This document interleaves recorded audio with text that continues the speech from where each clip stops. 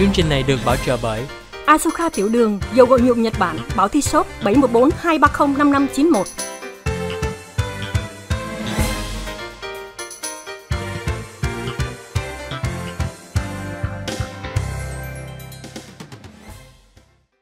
Nguyễn Trường Ngọc Lan xin gửi lời chào thân ái đến tất cả quý khán giả đang xem chương trình Cà phê sáng của Leader Sài Gòn TV. Xin chào anh Trường. Xin chào Ngọc Lan và xin chào quý khán giả của Leader Sài Gòn TV. Xin được nhắc là chúng tôi có ở trên YouTube, có ở trên Facebook và trên mạng internet là littlesaigontv.com cũng như trên TV bình thường ở miền Nam California là đài 56.10, Bắc Cali 16.11 và Houston, Texas là đài 27.6. Rất vui được gặp lại quý vị trong ngày thứ tư hôm nay là ngày 31 tháng 7 2024 rồi. Ngày hôm nay là ngày cuối cùng của tháng 7, ngày mai chúng ta bắt đầu bước vào tháng 8. À, thường nói tháng 8 là mùa thu nhưng mà ở uh, Mỹ này thì tháng 8 vẫn đang là mùa hè. Vẫn đang mùa hè. À, đến tháng 10 mình mới bắt đầu bước vào mùa thu. À, thưa quý vị, nếu mà những ai uh, thích đi Target đó thì quý vị sẽ thấy bắt đầu tháng 8 này họ có một cái chương trình rất là hay. Đó là tất cả khách hàng nào mà quý vị có những cái quần à, quần jean á Ừ. bất kỳ nhãn hiệu bất kỳ tình trạng là nó còn nguyên hay nó rách và nó cũ đủ thứ bất kỳ tình trạng như thế nào quý vị có đều có thể mang đến Target để quý vị bỏ vào đó xong rồi người ta sẽ đưa cho quý vị một cái phiếu giảm giá 20% Ừ. để mình mua lại một cái quần mới à, bất kỳ nhãn hiệu nào mà người ta có bán ở Target thì đây là một cái chương trình sẽ được uh, cái uh, cửa tiệm này bắt đầu vào tháng 8 từ ngày 4 cho đến ngày 10. À, họ nói ờ, cái chương trình này của họ đưa ra đó là nhằm thứ nhất là để cho nhiều khách hàng có thể ờ, những cái quần họ mặc lâu rồi cũ rồi rách rồi mà nếu vứt đi thì nó cũng uổng rồi nó lại à, tăng thêm cái chuyện mà rác thải vân vân. Thì bây giờ cái cách họ thu gom rồi họ là sẽ recycle như thế nào đó tái chế lại theo cái những cái cách thức của những cái hãng xưởng lớn.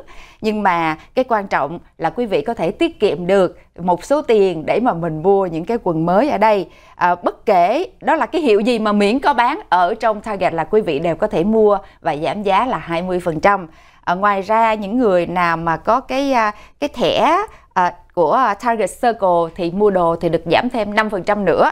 Đó là một cái à, chương trình mới của Target bắt đầu vào tháng 8 này từ ngày 4 đến thầy ngày 10. Cho nên à, đây là cái cơ hội của ai mà quý vị về nhà mình xem coi là những cái quần quần jean á tại vì họ đấy là um, không có bất kỳ cái nhãn hiệu nào hết không có cần cũng không cần biết tình trạng à, chỉ đến đó thì họ chỉ cho mình biết ở cái chỗ đó đó cứ bỏ vào và mỗi người tối đa là được mang năm cái quần cũ tới để mà đổi lấy cái coupon giảm 20% Trong khi đó thì à, những cơn cháy rừng ở Nam Cali, Bắc California cũng như là ở một vài những tiểu bang đã làm cho nhiều người phải di tản.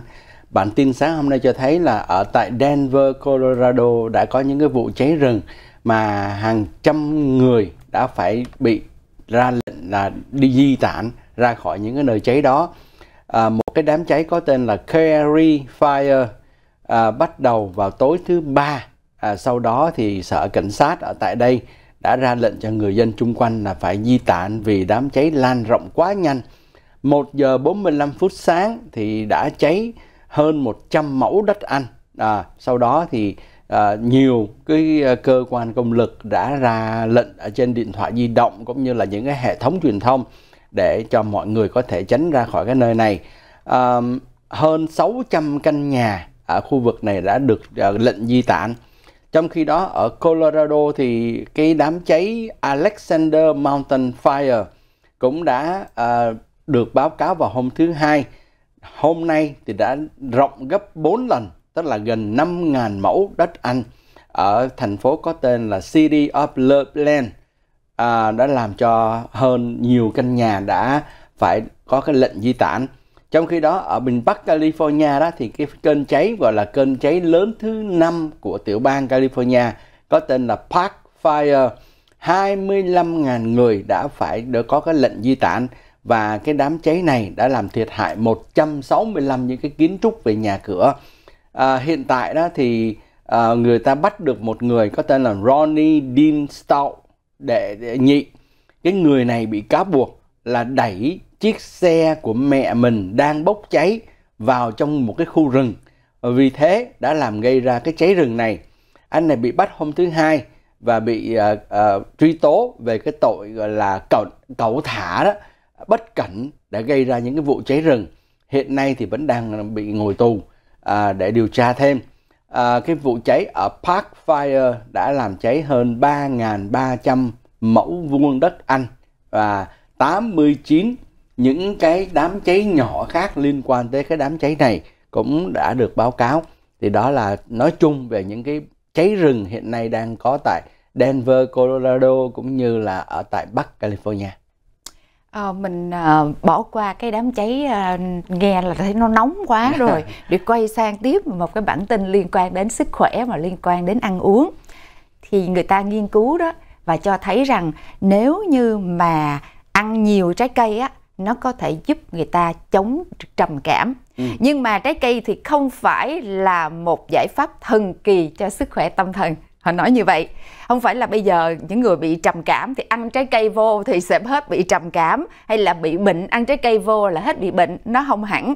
À, nhưng mà khi người ta nghiên cứu trên 14.000 người và cái quá trình nghiên cứu của họ là kéo dài 20 năm những người được à, chọn để nghiên cứu đó là trong cái độ tuổi gọi là độ tuổi à, trung niên bắt đầu từ 40 tuổi cho đến 65 tuổi thì qua 20 năm họ theo dõi trên 14.000 người thì họ mới thấy rằng á à, những cái người mà những người mà ăn nhiều trái cây hơn từ lúc mà ở à, còn trẻ thì cho đến cái độ tuổi trung niên rồi từ độ tuổi trung niên trở đi đó họ ít bị mắc cái chứng trầm cảm hơn là những người ăn ít hơn ừ.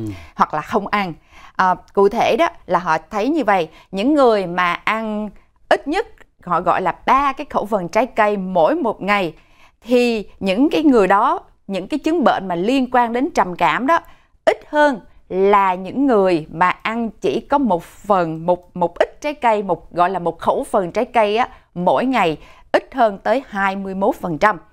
Rồi à, nhưng mà có một điều đặc biệt á là họ nói là trái cây thôi chứ còn mà cái chuyện mà ăn rau á thì nó chả có ảnh hưởng gì hết nó không có góp phần để mà giảm bớt cái chuyện là trầm cảm giống như là ăn trái cây đó là phân biệt rạch ròi giữa trái cây và cái chuyện mà khi mà những người này ăn rau như thế nào.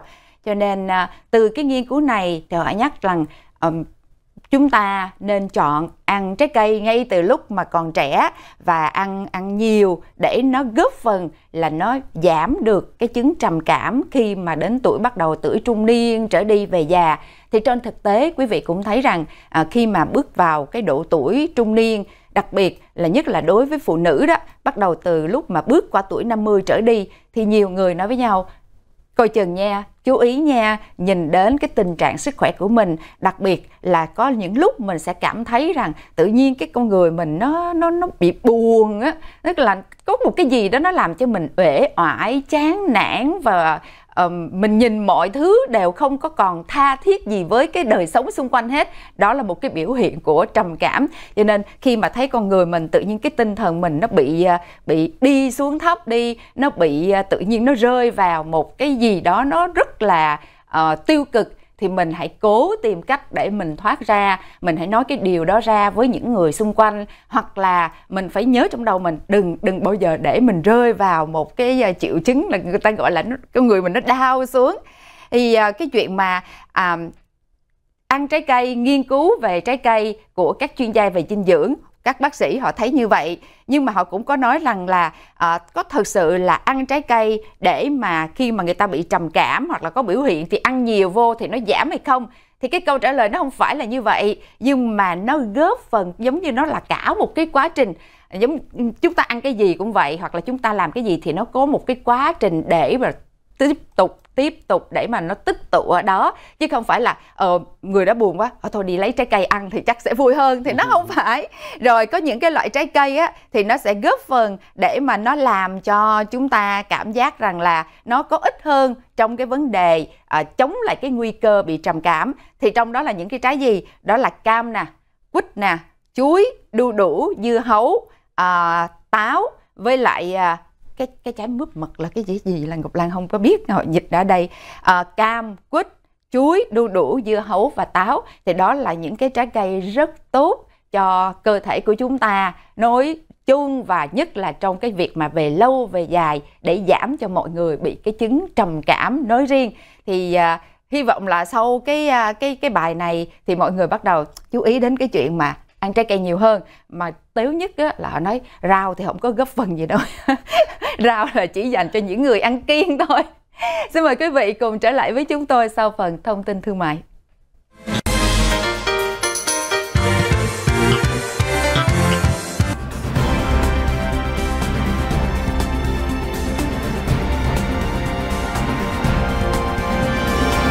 Chương trình này được bảo trợ bởi Asuka tiểu đường, dầu gội nhuộm Nhật Bản, báo thi shop 714 230 5591.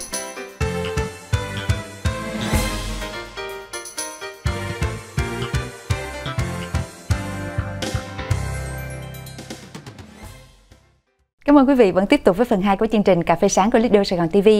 À, trước phần quảng cáo Ngọc Lan đang nói về cái việc là nghiên cứu cho thấy là ăn trái cây nhiều đó nó sẽ giảm được cái triệu chứng trầm cảm khi mà người ta đến tuổi uh, trung niên. Nhưng mà các bác sĩ cũng nói rằng không có nghĩa là chúng ta cứ ăn vô là chúng ta nhiều trái cây từ lúc trẻ là nó là lớn lên về già là mình không có bị trầm cảm không ừ. phải. Nó chỉ góp phần thôi. Nhưng mà ngược lại nếu như có những người mà người ta sợ ăn trái cây có những người họ không ăn được thì cũng không phải là ờ tôi không ăn trái cây được là tôi sẽ bị trầm cảm. Mà chúng ta chỉ là chọn những cái thức ăn cho nó phù hợp nó khỏe cho sức khỏe của mình. À, nếu như mà ai ăn trái cây được thì mỗi ngày trong cái khẩu phần ăn của mình đó nên dùng trái cây để thay thế cho nhiều cái thức ăn khác. Ví dụ như họ nói là quý thay vì mình ăn một cái miếng uh, miếng cheese thì mình hãy nghĩ đến ồ mình có thể mình ăn một cái trái táo mình thay vào hay không? À, hoặc là à, thay vì ăn một cái miếng thịt này thì mình lại chọn là một cái loại trái cây khác thì làm sao để trên cái dĩa thức ăn hàng ngày của mình á trái cây đi hay là rau nó nhiều hơn thì nó sẽ tốt hơn là mình chọn ăn thịt thà. Và hồi nãy Ngọc Lan có nói cái cái trái mà người ta gọi là cái mướp mật á trái mướp mật nó là cái trái mà dưa lưới honeydew melon là dưa lưới cái trái cái trái màu xanh xanh á. Đúng rồi cái trái mà ở ngoài cái cái vỏ nó cái hơi sần vỏ sần nó hơi sần sần đó Dạ, ờ, dạ. dưa lưới. Đó rồi. Tại vì ngọc lan đang nói về cái vấn đề gọi là rau củ quả trái cây. Thì thưa với quý vị à, chắc chắn là quý vị cũng để ý thấy là rau củ quả trái cây và càng nóng thì giá nó càng mắc. Là tại sao? Là tại vì hiện tại đó nhiều nông trại cho biết là trong thời gian mùa hè thời tiết nóng bất thường 90 100 độ, thì những cái cây mà thường mà người ta trồng để mà lấy rau củ, rau, lấy ra kết quả là những cái trái ngon hoặc là những cái rau ngon, vân vân đó, thì với cái mùa màng mà thời tiết nóng như vậy thì họ phải tưới nước nhiều hơn và đồng thời phải làm sao cho cây nó mát hơn thì nó mới tốt được. Chứ mà nó cứ nắng nóng mà cả trăm độ như vậy đó thì cây nào nó cũng héo hết. Vì thế từ cái vấn đề mà à, gieo gặt cho tới à, thu hoạch cho tới được mang tới những cái chợ đó thì nó còn nhiều cái giai đoạn nữa bỏ vào xe chuyên chở như thế nào xe đó phải có máy lạnh như thế nào để mà củ quả nó không bị héo. Rồi mang tới chợ chợ cũng phải mở máy lạnh cho lên cho nó ờ, mát lên thì cây rau củ quả nó mới không bị héo thì chúng ta mua nó mới ngon. Vì thế mà tất cả những cái chi phí đó sẽ dồn vào cho cái cái cái việc mà chúng ta đi mua rau củ quả cho nên.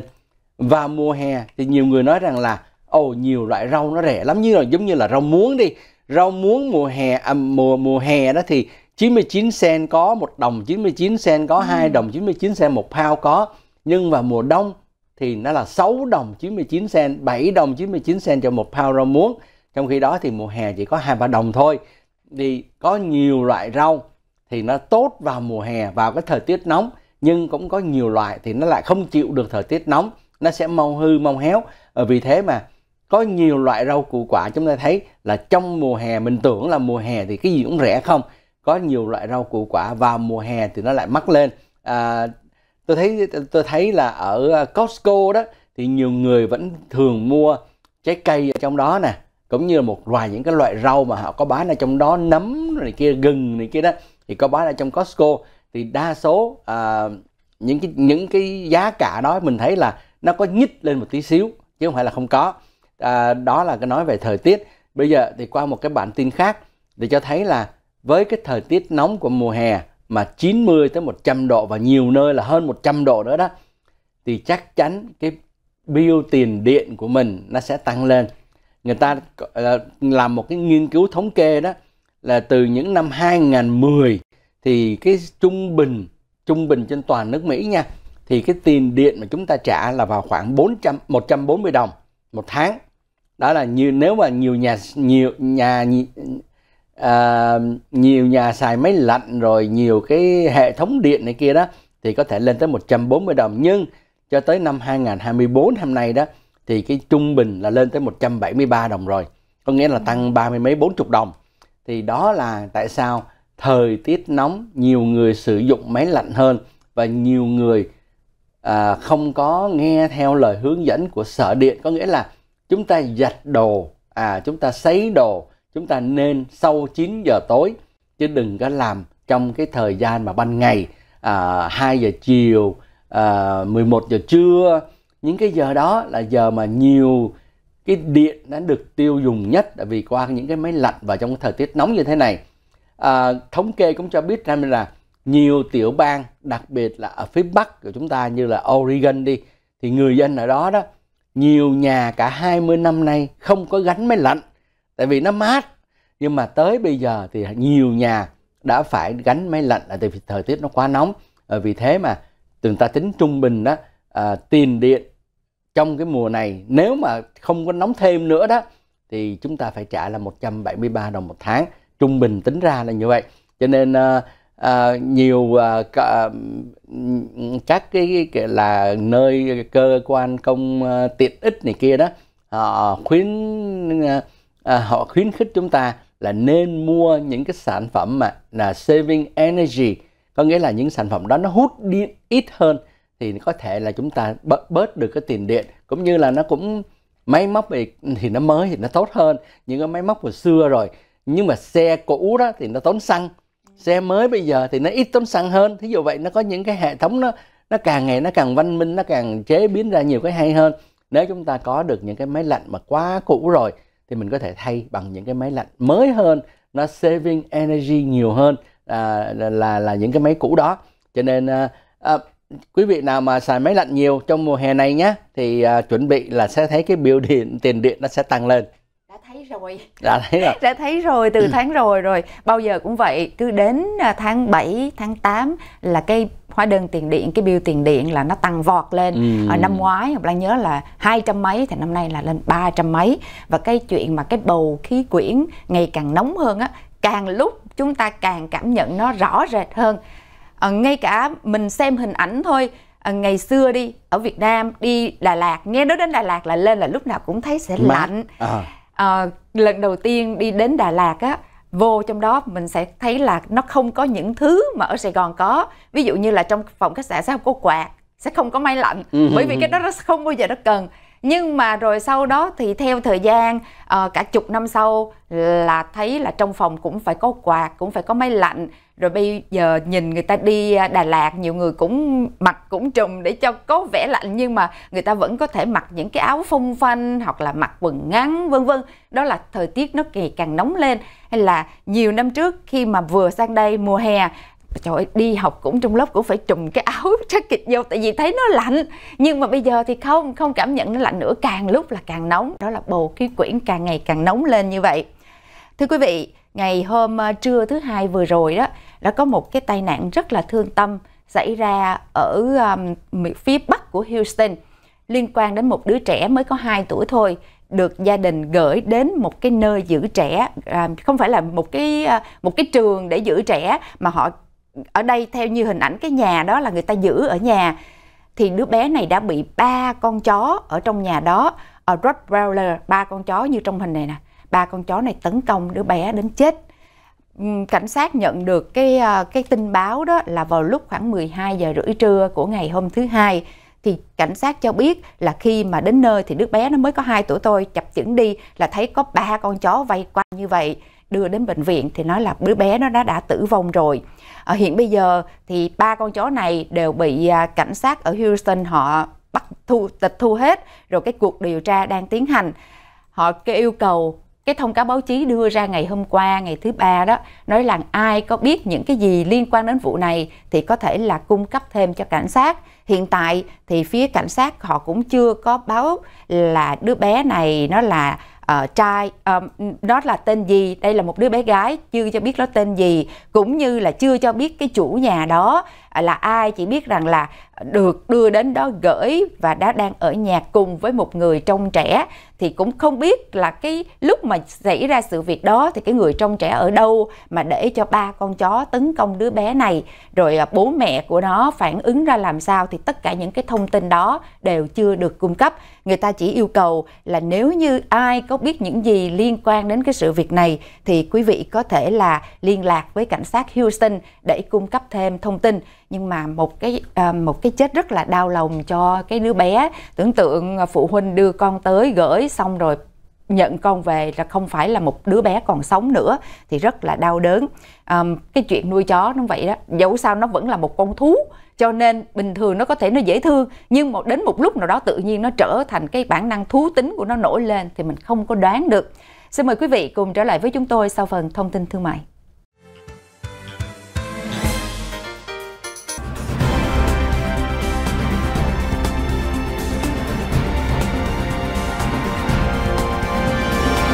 Chương trình này được bảo trợ bởi Asuka Tiểu Đường, dầu gội nhuộm Nhật Bản, bảo thi shop 714 230 5591.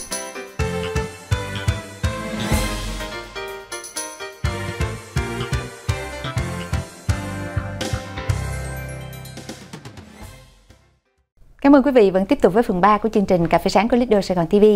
Thưa quý vị, cập nhật tin tức liên quan đến cái vụ mà à, cha của cái cô bé 15 tuổi Alison Chow bị uh, cho là mất tích rồi sau đó được tìm thấy.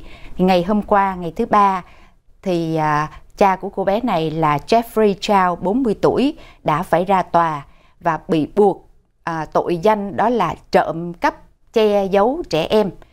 Đó là tội nặng và một cái tội nữa là nhẹ hơn đó là báo cáo sai sự thật về cái trường hợp à, khẩn cấp sau khi mà con gái của ông biến mất nếu như mà cái tội này những cái tội này mà thành lập á thì cái mức án tối đa đó là 5 năm tù.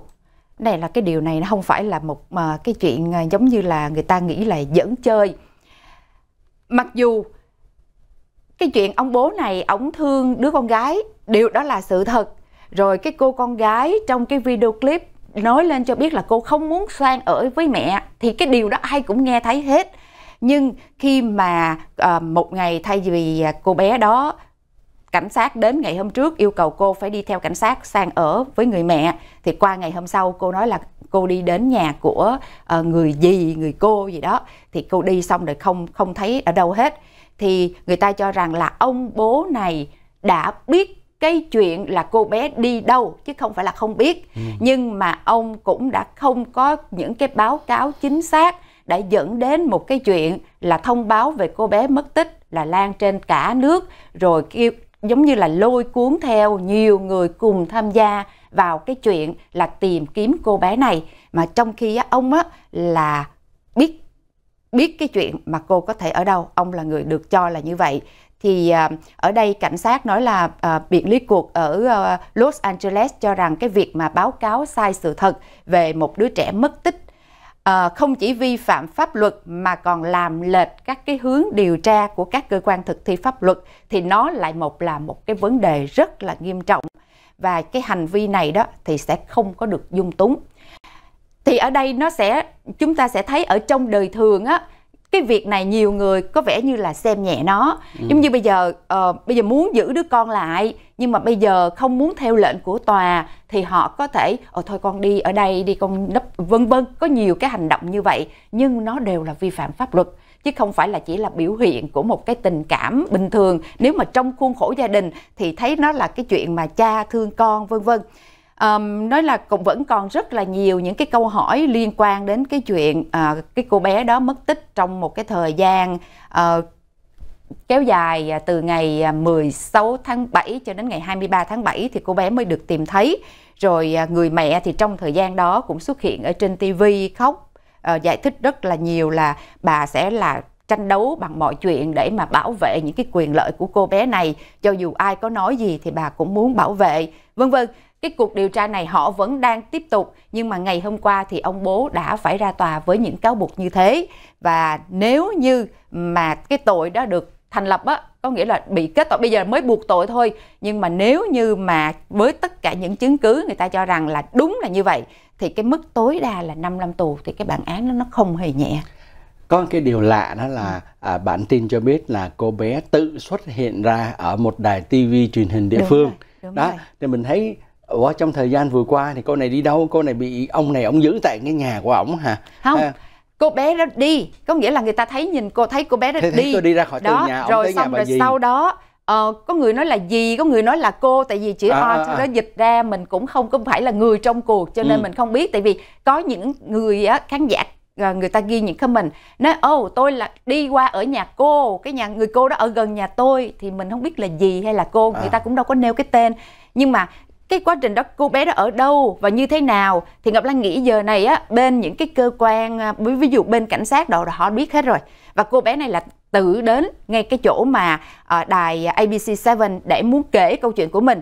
Thì cái đó có phải là tự cô bé đi hay là theo cái sự hướng dẫn sắp xếp thì của đó, người đó, lớn? đúng rồi tất cả những điều đó người ta chưa có công bố cho À. mình biết cho nên là chúng ta vẫn phải chờ để xem ra cuối cùng nó câu chuyện này ngã ngũ như thế nào. Nhưng mà đây là một cái điều mà tất cả những phụ huynh nào mà đang ở trong cái hoàn cảnh là ly hôn ly dị và tranh giành cái quyền nuôi con đó thì đây là một cái điều mà họ đang quan tâm và theo dõi. Bởi vì chỉ có sơ suất chỗ này hoặc là mình hành động theo cảm tính thì mình lại rơi vào trong cái tình trạng làm những cái buộc tội nó rất là ờ, rất là là nghiêm trọng. Ví dụ như đây ờ, biết đi đâu nhưng mà không nói thành ra tự dưng cả nước ở đâu cũng thấy cái ờ, những cái thông tin đi tìm kiếm cô bé này đủ thứ hết. Người ta lo sợ vân vân. Đó thì những cái điều mà người trong cuộc giấu nhưng mà lại làm cho những người ngoài người ta phải tốn thời gian và công sức.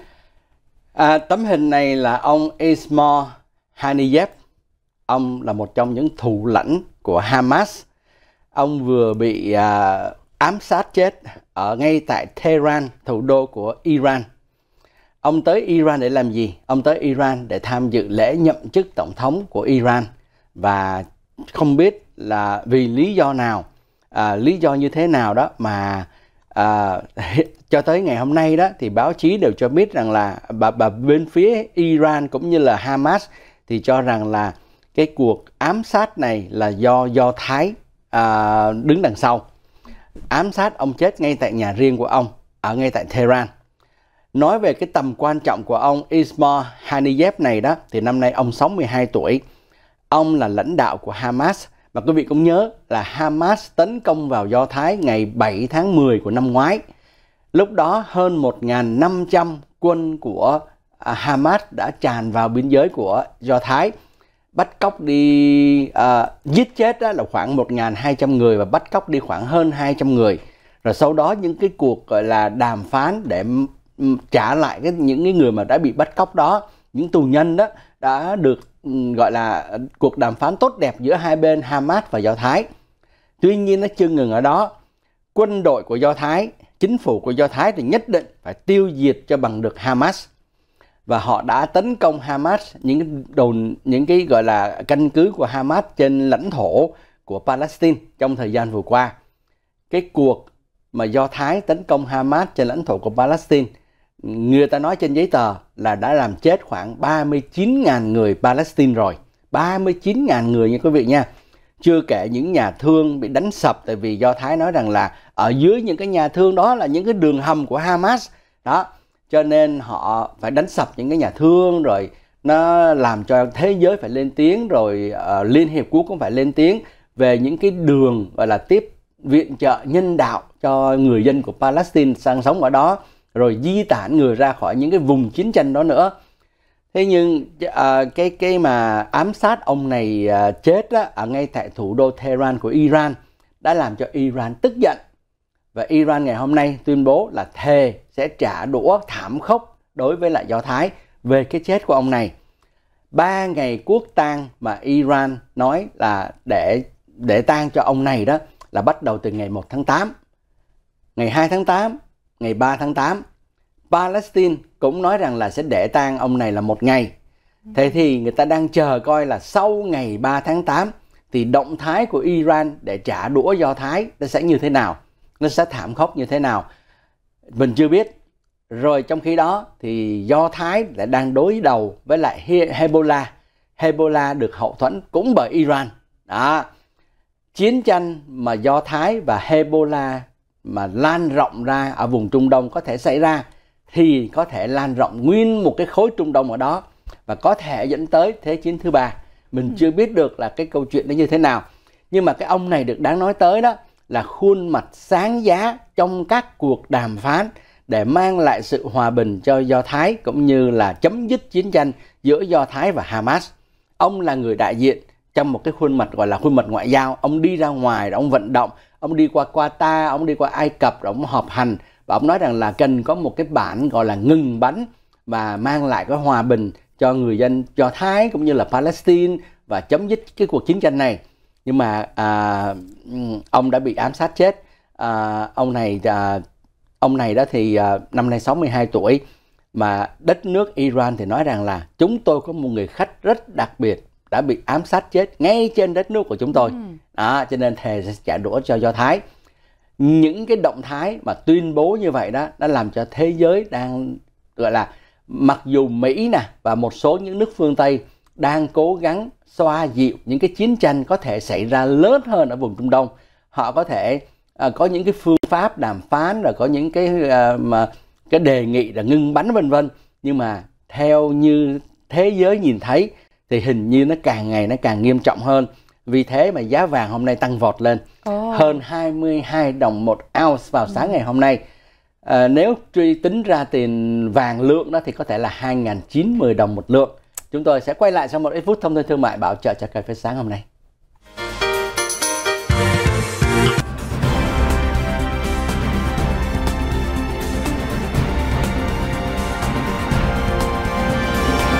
Chương trình này được bảo trợ bởi Asuka Tiểu Đường, dầu gội nhuộm Nhật Bản, bảo thi shop 714 230 5591.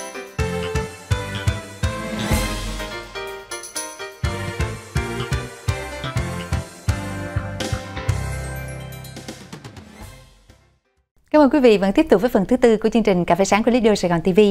À, thưa quý vị, ngày hôm qua thứ ba thì bên uh, Biện lý quận Cam đã ra một cái thông cáo báo chí cho biết là một huấn luyện viên về uh, thể dục thể thao đó tên là Christopher Flores, 39 tuổi, um, bị uh, sẽ bị đến mức tối đa là 12 năm tù vì cái tội là quấy rối vận động viên mà ông đã đào tạo trong thời gian qua. Ừ Ông này ở Santa Santana gần đây và ông làm việc ở trong một à, giống như một cái trung tâm mà huấn luyện à, thiên tài. Ông được cho là là người đã đào tạo ra được nhiều những vận động viên nổi tiếng cho uh, trong cái môn thể thao ở đây. Tại vì mình thì không có rành về cái chuyện mà những cái môn thể thao đó cho nên chỉ biết là ông là một người rất là nổi tiếng. Được nhiều những cái huấn luyện à, những cái vận động viên mà ông đào tạo ra đó là giành được nhiều cái giải thưởng nhiều cái huy chương. Cho nên um, chính vì như vậy nó cũng có những cái mặt sâu của nó mà nhiều người lúc đầu người ta không có tin cho đến lúc mà một cái cô bé à, dưới tuổi vị thành niên ở đây không có cho biết là bao nhiêu tuổi à, tố cáo ông này bằng một cái bản mà một cái cuộc ghi âm lại vào năm 2022 thì trong cái cuộc ghi âm đó đó người ta nghe được cái tiếng của ông dụ dỗ cái cô bé đó cũng là học trò của mình ông là người đã huấn luyện cô đó là đi chơi cùng với ông và đã có những cái à, cái cái hành động nó không có được uh, trong sạch Đồng thời ngoài cái chuyện mà cái cô bé đó ra thì ông này cũng bị buộc tội là có những cái uh, sàm sỡ và tấn công tình dục một người nhân viên khác 22 tuổi cũng ở ngay cái chỗ đó.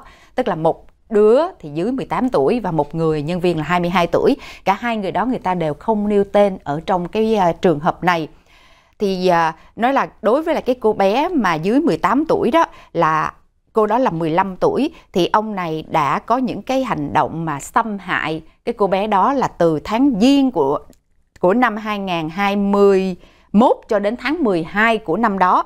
Và đến khi mà cô bé đó là ghi âm được cái cuộc ghi âm đó, thì cái chuyện đó cô bé đó nộp thì đó mới chấm dứt còn cái việc mà tấn công tình dục của một nhân viên 22 tuổi cũng ở nơi này thì cụ thể nó như thế nào thì người ta không cho biết và chỉ trong cái phiên tòa ngày hôm ờ, hôm qua khi mà ra tòa lại có thêm hai đứa bé khác tuổi ừ. tuổi vị thành niên đã đứng ra trước tòa để mà là làm chứng chỉ ra là ông huấn luyện viên này cũng đã có những cái hành vi những cái cử chỉ mà nó sai trái về cái chuyện à, vi phạm về về à, tình dục ở đó thì uh, ông uh, biện lý trưởng uh, ờ, biện lý của quận Cam đó ông nói rằng là uh, trong khi nhiều người trong chúng ta đây phụ huynh rồi những cái người mà cổ động viên người ta xem những vận động viên biểu diễn hay là trình diễn thi thố ở trên các cái uh, sân đấu thể thao uh, họ thấy được cái nỗ lực của họ cái sự gắng sức của họ như thế nào. Nhưng mà đã không biết được là họ cũng đã trở thành những nạn nhân của những cái kẻ xấu như vậy. Um, điều này thì đó là cái điều mà họ không có chấp nhận được và với cái à, những cái điều những cái tội mà ông huấn luyện viên này đã gây ra đó thì cái mức án là tối đa là 12 năm tù sẽ được tuyên vào tháng 10 tới đây. Thì cũng nhân cái việc này người ta mới nhắc đến là khi mà phụ huynh đưa con em đi đến những cái nơi mà tập luyện thể thao, nhất là các em đã vô những cái đội như là những cái đội tuyển, những cái đội tập dợt để đi thi đó thì rất rất là nhiều những cái trường hợp như vậy nó xảy ra, nhưng mà thường các em khi mà thi đấu là với tinh thần thể thao, cho nên đôi khi các em không có muốn nói cái điều đó ra là cái người huấn luyện viên của mình đã có những cử chỉ như thế nào. Thật ra ngay cả nhiều cái bộ phim người ta làm cũng lấy từ cái kinh nghiệm của những cái em mà đã từng bị lạm dụng như vậy để các em kể là những cái câu chuyện mà trong quá trình đó sợ ảnh hưởng đến đồng đội, sợ làm mất cái hình tượng của người à, người thầy của mình, cho nên là đã che giấu rất là nhiều trong khi đó thì thưa với quý vị à, nếu mà nhìn hình đây đó thì chắc quý vị nào mà thường hay nấu ăn thì sẽ nhìn ra được cái cô này. Cô này có tên là Sơ Ly Trung, người Trung Hoa. Sơ Ly Trung, năm nay cô 47 tuổi. Cái điều oái âm á, là cô này nói rằng là vào mùa đông của năm ngoái, có nghĩa là khoảng tháng 11 tháng 12 thì khi mà tôi ngồi ăn uống câu này là câu này được tham gia vô trong cái chương trình gọi là vua đầu bếp á ừ. à, mùa thứ 11 rồi chung kết và mùa thứ 14 cô cũng được vào chung kết này kia nữa. À, thì cô sơ ly chung cho biết là vào mùa đông năm ngoái khi tôi ngồi ăn uống ở nhà đó thì tôi đã cắn phải vào lưỡi của tôi hai ba lần. Ừ. à rồi sau đó răng của tôi bị nứt. Đó. Thì cô nói rằng là sau khi cô đi khám bệnh à, thì bác sĩ cho cô thuốc điều trị sau đó vì quá bận rộn cho nên cô không có đi khám sức khỏe lại nữa để coi là cái tình trạng nó là như thế nào. Mới đây cô đi khám sức khỏe nó bị nặng hơn thì cô cho biết rằng là bác sĩ nói cô bị ung thư lưỡi giai đoạn 4. Đối với một người nấu ăn mà nêm nếm rồi à, quý vị tưởng tượng nha ung thư lưỡi thì làm sao mình nó mất cái vị giác đi làm sao mình nêm nếm được bác sĩ nói rằng là cái cơ hội mà giữ lại được cái lưỡi của cô đó nó rất là ít. Tuy nhiên cũng có những cái phương pháp điều trị mà nó có thể không cần phải cắt bỏ cái lưỡi của cô đi. Cô bị giai, giai đoạn 4 rồi. Thì nó đang là lan ra ở trong cổ họng của cô.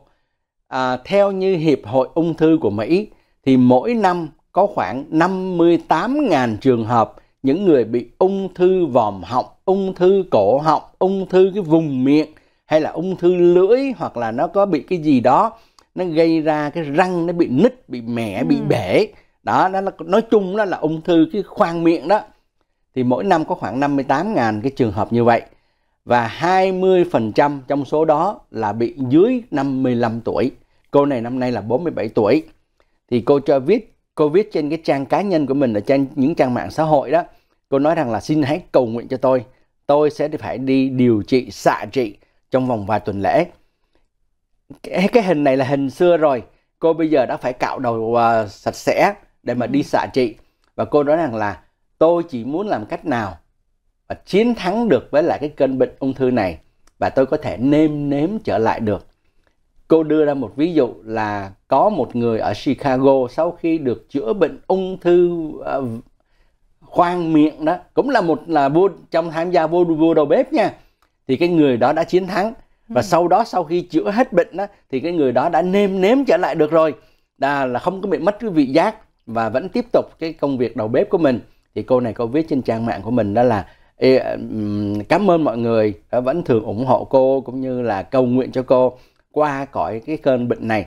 Ngọc Lan thấy nha một ca sĩ đó mà bị ung thư cổ họng thì làm sao mà hát được? Rất là đau khổ vô cùng ha. Mà một người đầu bếp mà lại ung thư lưỡi không nếm được cũng là một cái đau khổ nữa Trời, cái đó đã nói ung thư là cái gì cũng đau khổ. À. Ở đây á bởi vì đây mình nghe ung thư nhiều loại ung thư nhưng mà ung thư lưỡi á, thì nó có vẻ rất là hiếm. ừ. Ờ, họ nói khi mà ung thư cũng liên quan đến cái tin mà anh Nguyễn Trường vừa mới nói ờ, cái cô đầu bếp ờ, người Trung Hoa này người ta nói là có hai cái loại ung thư một loại á là ung thư lưỡi là ở cái đầu lưỡi tức là Ừ, ở ừ, cái phần ừ. cái lưỡi mà mình thấy một loại là nó xích ở trong cái cái cuốn họng đó À. Ờ, cái phần lưỡi mà nó nằm tuốt ở trong đó là cả hai loại và cái ung thư thực ra là nó chỉ chiếm khoảng à, một phần trăm của những cái trường hợp ung thư à, hàng năm thôi ung thư mới nhưng mà cái việc này nó nó nó hiếm nó ít thành ra nhiều người á đầu tiên người ta không có ngờ tới được là họ bị ung thư lưỡi Ừ. cho nên à, các bác sĩ đưa ra cho biết là các cái triệu chứng của ung thư lưỡi là cái gì thì khi mà thấy á, là có cái à, cái trên lưỡi mình có những cái mảng đỏ hay là cái mảng trắng nè rồi các cái vết mà nó bị à, giống như lỡ ở trên à, trên miệng mà nó không có lành ở trên cái lưỡi mà nó không có lành rồi lưỡi đau nè hoặc là bị sưng nè rồi chảy máu nè đó là cũng là dấu hiệu. Rồi đau họng khi mà nuốt vô nè rồi khó cái cử động lưỡi hoặc hàm nhiều khi giống như tự nhiên nó bị đơ ra đó nó cứng ra thì như vậy. Rồi luôn cảm giác là có một cái gì nó nó nghẹn ở trong cổ họng mình mà mình nuốt nó không có Ừ, trôi. ừ, ừ. rồi à, bị à, khang khang tiếng mà dai dẳng rồi bị đau lỗ tai. Đau lỗ tai cũng là một cái biểu hiện của từ ung thư lưỡi nó nó nó kéo theo. Thì đó là những cái biểu hiện mà chúng ta có thể nghĩ tới là bị ung thư lưỡi để mà mình nói với lại à, bác sĩ. Rồi à, khi mà nói là bị ung thư lưỡi như vậy đó thì à, có chết không? Có nghĩa là cái gì người ta cũng sợ nhất là liên quan đến cái chuyện mà ví dụ như cô này đầu tiên bác sĩ đề nghị là cắt cái lưỡi. Quý vị tưởng tượng mà người mà cắt cái lưỡi rồi sao mà nói chuyện mà hơn nữa cổ là đầu bếp. Cho nên cô nói là cô chọn cái cách khác chứ không Ừ, thể nào ừ, mà ừ. chuyện mà cắt cái lưỡi giống như là bị ung thư cái gì thì cắt cái đó Ờ, thì cái bác sĩ cho biết là nếu mà à, phát hiện sớm đó thì vẫn có thể chữa trị được chứ là không phải là không. Ờ, có một số người cũng phải cắt bỏ cái lưỡi cũng là có rồi à, tái tạo cái lưỡi lưỡi giả nữa. Thì Ồ. cái điều này mình nghe rất là lạ. À, thì đó là những liên quan đến cái chuyện mà ung thư lưỡi. Thì đây là thêm là một cái kiến thức y khoa để mà chúng ta biết là có một căn bệnh như vậy. Và nếu như cái miệng của mình bị cái gì thì nên để ý xin mời quý vị cùng trở lại với chúng tôi sau phần thông tin thương mại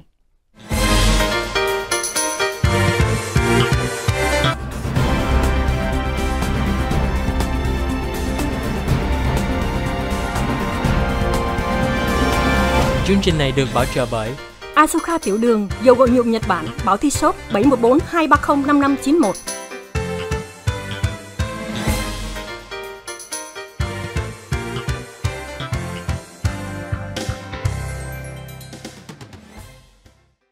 Cảm ơn quý vị vẫn tiếp tục với phần 5 của chương trình Cà phê sáng của Leader Sài Gòn TV. Thưa quý vị, chiều ngày hôm qua khoảng à, 4 giờ 15 chiều ngày hôm qua ngày thứ ba thì cảnh sát ở khu vực Los Angeles đã nhận được một cái à, báo cáo nói rằng có một người tài xế đã dường như say rượu chạy ngược chiều trên freeway rồi tông vào rất nhiều xe. Thì lúc đó cảnh sát bắt đầu rượt cái người này thì ông này chạy trên cái chỗ mà freeway à, 101 đó nói rằng à, rồi đến cái giao cái cái chỗ mà cái quãng đường à, Hollywood với lại Bronson tổng ta exit ra chạy xuống local thì khi mà chạy xuống đường local đó thì ông ta tông vào trong một cái à, giống như một cái à, một cái cái, cái, cái cục điện vậy. thì xe bung khí ra hết thì lúc đó cảnh sát bao vây xung quanh theo như đài à, KTLA họ từ ở trên máy bay họ nhìn xuống là cảnh sát bao quanh đó và rút súng ra hết. Thì ông này bắt đầu từ từ xe ông cũng bung túi khí chiếc xe cũng bị hư. Rồi ông bước ra rồi cảnh sát đến túm ông lại. À, có vẻ cũng bị thương nhưng mà không có bị thương nặng thì lúc đó cảnh sát đo ờ, thử rượu vân vân. Giờ này cảnh sát mặc dù là đưa hình ảnh là của KTLA họ đưa lên hết nhưng mà tên tuổi thì chưa có cho biết. Nhưng mà rất là nhanh sau đó thì à, từ trên máy bay á nhìn xuống là cũng thấy chiếc xe ông ông này sau khi ra khỏi xe rồi thì thấy xe bắt đầu bốc khói. Ờ, à, cảnh sát lại phải xúm lại để mà dập tắt cái khói đó không biết nó nó cháy cái gì. À, sau khi mà ông này bị bắt rồi thì nhiều người nhân chứng mà từ ở trên freeway đó họ exit xuống họ nói chuyện với lại phóng viên á họ nói rằng á ông đó ông tông ít nhất phải hai chục chiếc xe chứ không Wow. phải là hơn 10 chiếc và cái người mà một trong những nhân chứng nói chuyện với lại phóng viên cũng nói xe tôi mới mua có hai tháng thôi À. mà ông này ông tông vô giờ xe tôi cũng bung túi khí vân vân bây giờ tôi muốn lấy cái tên của ông đó để là tôi báo với lại bên bảo hiểm rồi một người nhân chứng khác cũng vậy nó tự nhiên đang chạy trên đường mà cái trên freeway 101 rồi vào cái lúc đó, nó chỉ hơn 4 giờ, thì tự nhiên thấy cái ông này lên và chạy, cứ cứ ờ, giống như bị cảnh sát rượt, rồi ông cứ cứ chạy để tông hết xe này đến xe khác, rồi ông tìm đường để ông đi xuống. Thì đây là một cái tai nạn mà xảy ra vào chiều ngày hôm qua. Nếu như quý vị nào đi trên cái đoạn đường này á, mà thấy tự nhiên hỗn loạn ở trên đó, một chiếc xe chạy giống như là kiểu như là đóng phim mà tông hết vô xe này, xe kia, thì cái sự việc nó là như vậy đó. À, nói tới cái hãng máy bay có tên là Spirit Airlines. Spirit Airlines được thường là được người ta nghĩ tới là một hãng máy bay giá rẻ. Lúc nào cũng có sale, giá đặc biệt. Nhưng mà có một cái điều đó là không có cho mình mang cái gì lên trên máy bay hết. Hành lý carry on cũng không có được mang lên. Hay là ký gửi hành lý cũng không có. Nước uống cũng không có nữa. Ăn bịch chip cũng không có nữa. Tại vì Spirit Airlines nổi tiếng là hãng máy bay giá rẻ thì nó có nhiều cái điều kiện đi theo đó lắm. Nhưng mà ngày hôm nay thì hãng Spirit Airlines cho biết là trong những tháng ngày sắp tới là sẽ phải điều chỉnh lại để mà có thêm cái lợi nhuận. Tại vì từ hồi mùa dịch cho tới bây giờ, nhiều hãng máy bay bắt đầu có lợi nhuận. Nhưng mà hãng Spirit Airlines thì nó chỉ lên có nhích một tí thôi. Thế thì họ tìm cách để kiếm tiền nhiều hơn bằng một cách thứ nhất là bán ghế ngồi. Cái ghế ngồi đây là ghế ngồi business cũng như là first class. Business và first class mà của hãng Spirit Airlines nó sẽ to rộng hơn và cái chân mình có thể duỗi ra dài hơn. Nhưng mà quý vị phải mua. Đó, họ bắt đầu họ bán cái ghế này như thế nào. Những cái ghế này đã có trên máy bay từ lâu rồi. Nhưng mà thường á thì khi mà quý vị book cái, cái vé với lại Spirit Airlines đó thì mình trả tiền để được ngồi trên này nó rộng rãi hơn. Nhưng mà tất cả những cái dịch vụ đi theo đó thì không có như là nước uống này kia vân không có. Bây giờ quý vị mua cái ghế này ngồi rộng rãi hơn à, trả tiền thêm thì mình sẽ có được phục vụ nước uống và bịch chip. Và kèm theo là một cái carry on một à, kiện hành lý ký gửi và còn được ưu đãi như khách vip nữa. Đó cho nên họ nói rằng là chỉ có cách này thì mới làm làm lợi ra lợi nhuận mà thôi nói chung về các hãng máy bay đó thì người ta nói về hãng Southwest Airlines. Southwest Airlines có thể là một trong những hãng lâu đời nhất của Mỹ này. À, tuy nhiên, à, Southwest Airlines cả hơn nửa thế kỷ qua chưa bao giờ họ báo là họ lỗ hết. Lúc nào cũng có lời. Đó. Thì hãng Southwest Airlines là một trong những cái hãng gọi là điển hình là làm ăn tốt. Thế nhưng từ sau mùa dịch thì hãng Southwest Airlines đã gặp nhiều cái sự cố à, từ vấn đề điều hành công ty cho tới vấn đề phục vụ trên máy bay rồi những cái chuyện nó xảy ra bất trắc xảy ra. Cho nên hai ba năm vừa qua hãng Southwest Airlines nếu không có thay đổi cái à, cái cái à, vấn đề điều hành của công ty mình đó thì có thể gặp trở ngại rất là rất là lớn. Trong những tháng ngày vừa qua thì cổ phiếu của Southwest Airlines cũng đã xuống rất là nhiều. Đó cho nên à, quý vị thấy những hãng máy bay khác như American Airlines, United Airlines, Delta Airlines thì sau cái mùa dịch đó thì họ đều báo cáo là lợi nhuận tăng lên. Là tại vì hết dịch một cái bắt đầu người ta đổ xô đi máy bay đi du lịch này kia. Thì cái, họ cũng có lời. Đó cho nên à, ngoại trừ cái hãng Southwest là sau mùa dịch thì lại bắt đầu đi đi đi ngược đi xuống. Không có bằng như những cái hãng khác.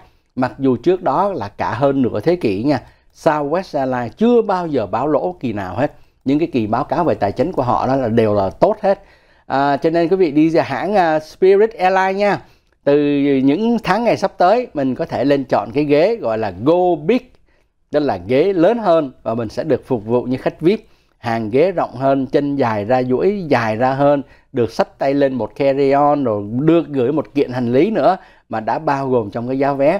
À, nói thêm là tuần trước đó thì à, internet trên toàn thế giới bị chấn động bởi một cái công ty cung cấp à, cái phần mềm để bảo vệ đó.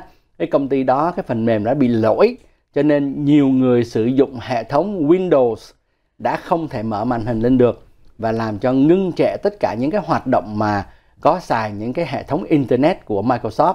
À, từ Starbucks tới hãng máy bay, tới nhà băng, tới nhiều cái dịch vụ khác nữa bị ảnh hưởng.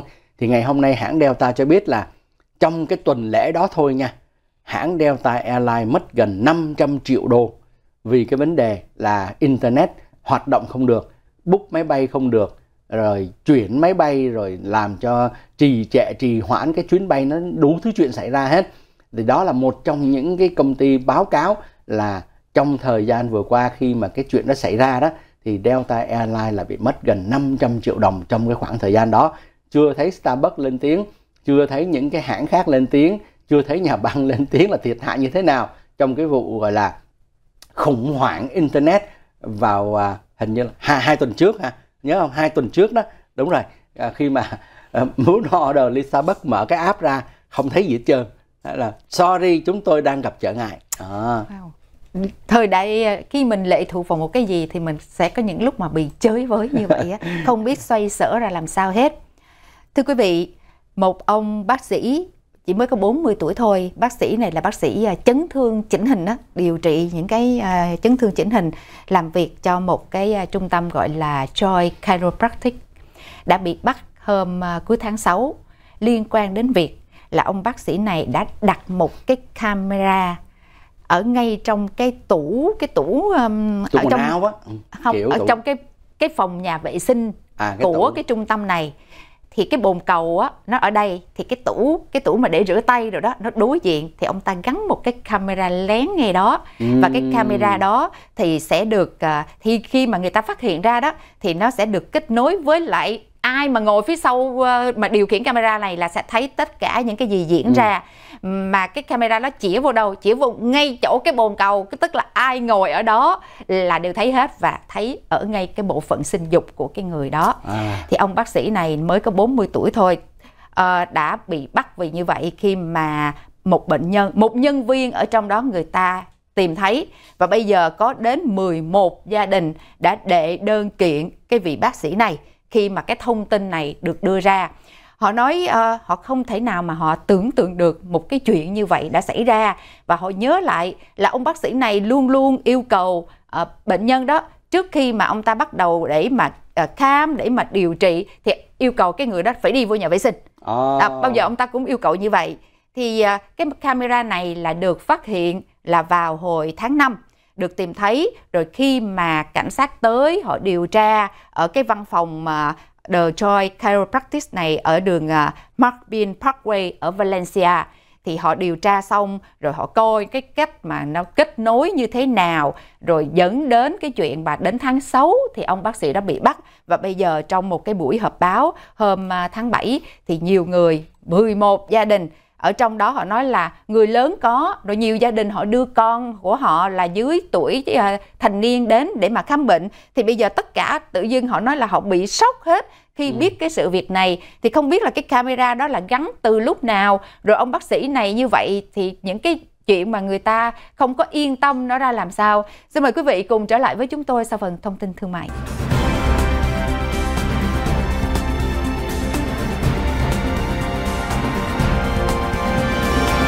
Chương trình này được bảo trợ bởi Asuka tiểu đường, dầu gội nhuộm Nhật Bản, báo thi shop 714 230 5591.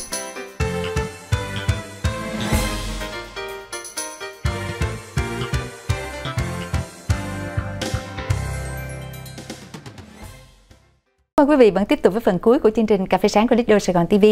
Trước phần quảng cáo thì Ngọc Lan đang đưa đến cái thông tin liên quan đến một bác sĩ à, nắng xương chỉnh hình đó. Vị bác sĩ này mới có 40 tuổi thôi, tên là Nicolas van der Heide ở à, Valencia đã có cái hành động đó là gắn cái camera lén ở trong cái nhà vệ sinh mà camera đó thì chĩa thẳng vào trong cái bồn cầu nơi mà các bệnh nhân nó là cái cái nhà vệ sinh đó là chỉ có nhân viên và bệnh nhân sử dụng thôi. Đó chĩa thẳng như vậy. Rồi à, khi mà một nhân viên ở đó phát hiện vào tháng 5 thì họ rất là sốc. Rồi sau đó khi đến tháng 6 thì ông bác sĩ này bị bắt. Rồi à, dẫn tiếp theo khi mà nhiều bệnh nhân người ta nghe thì 11 gia đình đã cùng làm đơn để mà kiện ông này. Thì trong số mà những người mà kiện đó à, có một à, cái à, cái à, cậu cậu thanh niên này mới 17 tuổi thôi không có được nêu tên. Thì cậu nói rằng là ông bác sĩ này á ông chữa bệnh lạ lắm. Tại vì à, khi mà đến đây á là không phải là chỉ cái chuyện là ông chỉ à, điều trị nắng xương thông thường đâu mà khi vào đó ông cũng à, giống như là ông sờ ông chạm vào những cái bộ phận sinh dục rồi những cái vùng xung quanh của cái cái cậu mà mà bệnh nhân đó nói như vậy. Rồi một ông luật sư đại diện cho 17 người bệnh nhân trong vụ kiện này cũng khẳng định ờ những người mà à, thân chủ của ông cũng cho biết là như vậy. Tức là ông bác sĩ này khi mà ông khám ông có những cái hành động rất là kỳ quặc À, mà trước đó thì ông bác sĩ này lại là từng bị bắt về cái tội là tàn trữ những cái tài liệu khiêu dâm à, của những người dưới 18 tuổi. Nhưng mà sau đó thì ông lại được à, thả ra. Thì hiện bây giờ ở bên phía mà văn phòng biện lý ở Los Angeles thì chưa có cung cấp thêm thông tin gì hết. Tất cả những cái này là đều từ phía bên gia đình của những người mà người ta kiện đó cùng với luật sư của họ họ đưa ra trong họp báo. À, ông này thì không có làm việc ở tại cái à, văn phòng mà chữa trị khám xương này nữa. Nhưng mà luật sư cũng nói là nếu như ai mà là nạn nhân nghĩ mình là nạn nhân của ông này thì cũng có thể tham gia vào trong cái à, nhóm kiện đó. Trong khi đó một bản tin khác ngày hôm nay cho thấy à, cái bà này đây là bếp trưởng của tòa bạch ốc. Ừ. bếp trưởng nha tòa bạch ốc người gốc á đầu tiên làm bếp trưởng của tòa bạch ốc. Bà này có cái trách nhiệm là tổ chức những cái quốc yến có nghĩa là nhiều khi gặp mặt những thủ uh, gọi là gì thủ người, người đứng đầu người đứng đầu của nhiều quốc gia khác đến thăm tòa bạch ốc nè. Rồi bữa ăn chiều bữa ăn tối bữa ăn sáng cho tổng thống nè gia đình tổng thống nè. Rồi nhiều khi thức ăn khuya nó tổng thống đói bụng thì bà là phải chạy xuống bếp là lo thức ăn khuya cho tổng thống. Bà phải học cách làm sao để mà à, gọi là nhiều khi mà những cái người quốc khách từ những quốc gia khác tới bà phải biết cái nước đó họ không ăn cái gì hay là họ thích ăn cái gì để mà bà tổ chức những cái buổi quốc yến như vậy. Thì bà này rất là giỏi ha. Bà tên là Christeta Comfort năm nay bà 62 tuổi. Năm 23 tuổi thì bà rời nơi bà sinh sống là Manila Philippines Philippines đó tới Hoa Kỳ. Sau đó thì bà làm đầu bếp cho một số nhà hàng ở Chicago, ở Washington, rồi sau đó là tại ngay thủ đô Washington DC. Năm 1995, bà gia nhập vào đội ngũ nấu ăn của Tàu Bạch Ốc qua một cái cuộc tuyển.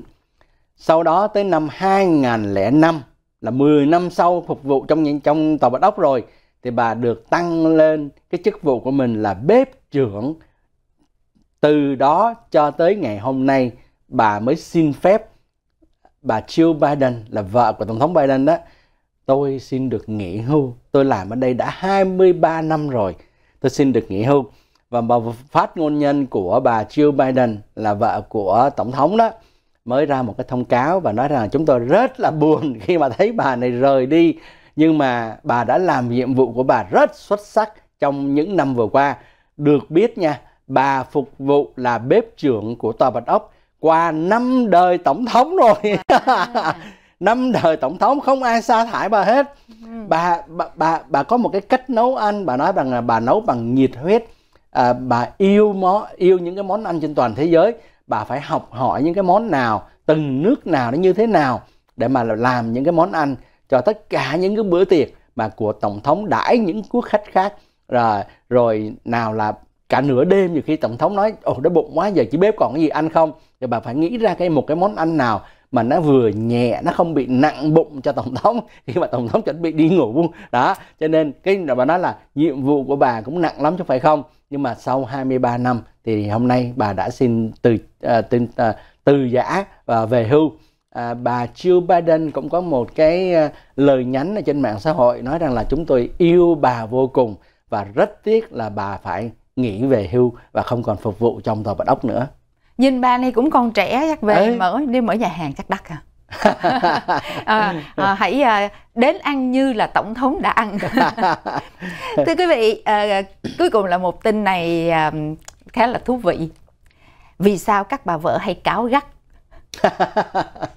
Vì, vì sao các bà vợ hay cáo gắt? Nhà yeah. cằn nhằn đó hả? Ờ cằn nhằn rồi la la lớn á. Cái đó là bản chất ờ, mà. kêu là là hả? Cái đó là bản chất của người phụ nữ. Nủ À, khi nào các có- bà vợ lại lại la vô mặt mình hét vô mặt mình. Ờ, ờ, phụ nữ mà không cành nhành không cấu gắt á, thì gia đình không êm ấm. Ồ Hả? trời ơi đây là lời của một ông chồng Ờ, người mỹ hay có cái câu đó ờ, happy wife happy life đúng không Ồ. Ờ, vợ vui thì đời vui Nhà, đợ- vợ mà không vui là đời là thấy thấy u ám rồi Ừ. nhưng mà ở đây cái nghiên cứu cho thấy là tại sao mà bà vợ là bậy hét vô mặt mình như vậy bà Ồ. la lớn lên thì nó có lý do đàng hoàng. À. đó là những cái nghiên cứu ờ, tùy theo cái mức độ. Ờ, dĩ nhiên cái bà nào mà cái tính tình bà hung hăng từ xưa giờ là cái chuyện đó người ta không tính đến. Nhưng mà bà vợ ờ, bình thường là một người cũng rất là điềm tĩnh ờ, ăn nói nhỏ nhẹ nhưng mà tự nhiên đến một lúc nào bà không nói nhỏ nữa mà cái cái giọng nói la lớn lên rồi hét thẳng vào mặt ông chồng. Tức là nó phải có một cái gì đó nó đã xảy ra. Bạn nghĩ mình không nghe được. Mình bị lãng tai không. Cái không nghe được, cái câu đầu là đúng, nhưng mà cái câu lãng tài lại là không đúng. Một số những cái à, lý do người ta nghiên cứu và đưa ra đó là khi mà tự nhiên cái bà vợ, bà bất chợt, bà bà nói mà bà như là bà hét lên vào mặt của ông chồng á. Thứ nhất là bà vì bà bị stress bởi vì quá nhiều cái trách nhiệm. Công việc nhiều quá, mệt quá ờ, cái áp lực à, vừa là chuyện nhà vừa là có thể là chuyện của uh, công ăn việc làm rồi nó đủ thứ giống như là bị bốc hỏa đó. Thì đến lúc người ta không có có thể bình thường được thì hét lên. Để là một cái cách họ giải tỏa ra. À. thay vì ông chồng chỉ cần hỏi là ờ, em ơi ờ, ăn cơm được chưa? Tự nhiên bà bà chưa làm xong bà hoảng lên. Chưa chưa ăn được. Cái kiểu như vậy đó là bởi vì mệt quá rồi thì người ta sẽ hét lên để cho giải tỏa bớt những cái mà nó nó nó ứ động ở trong người mình ra. Cái điều thứ hai á, là họ cảm thấy là không được nghe không được lắng nghe. Tức là họ cũng sẽ hét lên.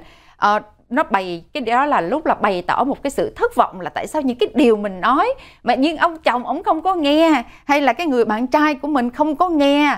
Cho nên là chắc là phải hét lên thì cái người đó mới nghe được. Đó là một cũng là một cái biểu hiện một cái thái độ đó là không được lắng nghe. Rồi à, dĩ nhiên đó là có những cái xung đột mà ở trong gia đình đó chưa có giải quyết được thì bà vợ cũng sẽ ờ, hét lên um, nó tích tụ nó tích tụ ngày này qua tháng khác thì đến lúc mà người ta phải không có kìm nén được nữa đó thì tự dưng uh, bốc hỏa hét lên la lên la lớn lên. Rồi cái chuyện mà tính cách trái ngược ví dụ một người á thì ờ, lúc nào cũng uh, uh, nói chuyện uh, từ từ hay là im muốn cho nói cái gì cũng phải nhỏ nhỏ um, không có muốn nó ầm ĩ. Nhưng mà nói nhỏ nhỏ hoài ông chồng không nghe. Ừ. đến lúc bà vợ phải la lên thì ông chồng mới bắt đầu là chú ý được. Cho nên đó là những cái lý do mà người ta đưa ra nghiên cứu để thấy rằng là tại sao tự dưng bà vợ bình thường. Bà nói nhỏ nhỏ mà giờ tự nhiên bà hét lên là có lý do. Như vậy thì ông chồng phải làm cái gì để mà khi mà bà vợ hét lên như vậy? Đó là gì? Đừng có nghe bà đến trước mặt mình mình hét lên cái thế là tác cho một cái hay là cũng la lớn lại thì đó là phản tác dụng. Cho nên là ok ok biết bà hét lên rồi. Dạ, ồ như vậy là bà này đang có cái gì tức giận thì trấn an bà. Ô biết rồi biết rồi nghe rồi. Từ từ nói bình tĩnh nói. Giống như là để cho bà bình tĩnh lại. Ok bây giờ em muốn cái gì em nói đi ta sẽ nghe. Thì người ta sẽ có cái cơ hội để người ta bày tỏ hết những cái điều gì trong lòng họ ra bực tức gì đó họ nói ra và họ họ cảm nhận được là họ được quan tâm họ được lắng nghe. Thì đó là cái cách mà mấy ông chồng nên làm khi mà tự nhiên thấy bà vợ mình thường ngày ờ, hiền lành dịu dàng quá mà tự nhiên bây giờ la lên. Có thể mình không nghe được tiếng gì mà bà cứ la lên. Thì đó là những cái biểu hiện đó. Như vậy là từ mèo thành hổ đó. Đúng rồi. thì tôi Cái- sẽ lùi lùi đi chỗ khác. Cảm ơn Nguyễn Trường. À, cảm ơn quý vị. Hẹn gặp lại quý vị vào chương trình sáng ngày mai. Sau cà phê sáng là chương trình thời sự thế giới. Xin kính chào quý vị